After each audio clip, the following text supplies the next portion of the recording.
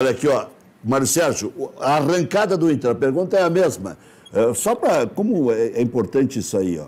Nós uhum. somos assistidos no mundo inteiro hoje em dia, então tem que apresentar sempre os artistas. O Mário Sérgio, o Bruneto é conselheiro do Grêmio já há alguns anos. E o Mário Sérgio é conselheiro do Internacional já jubilado aí, né? Reformado, sei lá como é que é o nome, remido. Mil, 1997 para cá. Então são 30 anos de conselho é, Internacional. Quando... E, e, com alguns cargos e encargos aí, né, Rec?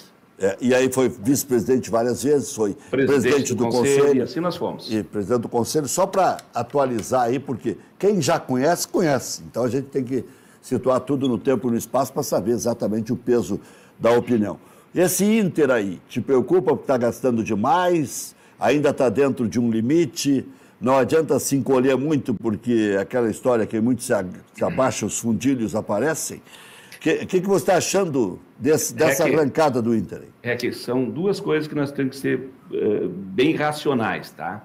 Ah, nos últimos dois anos ou três anos, muita torcida cobrou e com razão, a própria imprensa cobrou e com razão, que o Inter, uh, nos, nos, jogos, uh, nos, a questão sensível jogos, decisões, quando tinha tro que trocar, não tinha jogadores à altura, né?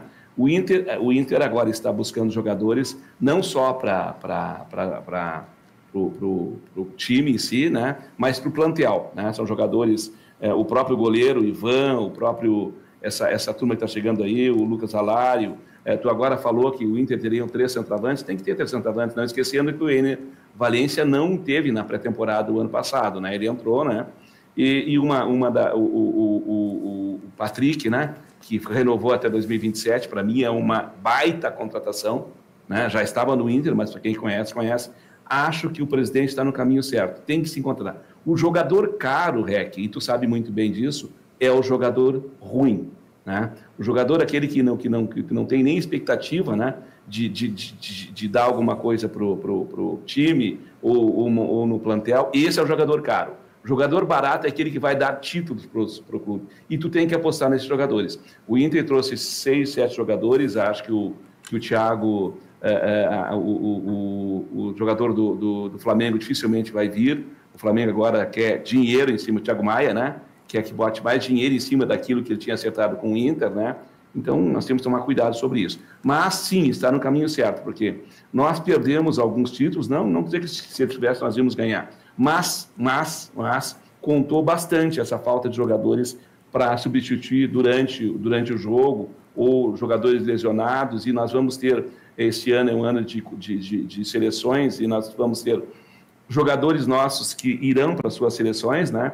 Então, é, trazer jogadores dessa envergadura para não só para disputar a, a, a Sul-Americana, que é um título que nós já temos e ganhamos lá em 2008, e, e, e o Inter deu um upgrade para a Sul-Americana, tu sabes muito bem disso, Eck, mas também para o Brasileirão. Né? O Brasileirão é uma, uma, Nós estamos na fila há muito tempo, há muito tempo, e eu acho que nós temos sim chance de buscar esse Brasileirão. Evidentemente que nós temos peso pesados financeiramente aí, falando, né? Palmeiras, Flamengo, o Bahia entrando com tudo aí, com dinheiro eh, a mil, né? E outros clubes aí, o próprio Atlético Mineiro. Então, mas o Inter tem que, no mínimo, eh, apostar nesses jogadores para não ficar atrás, para disputar de igual para igual.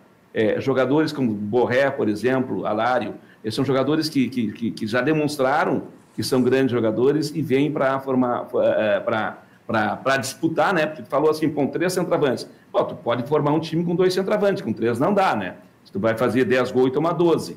Então, acho que está no caminho certo.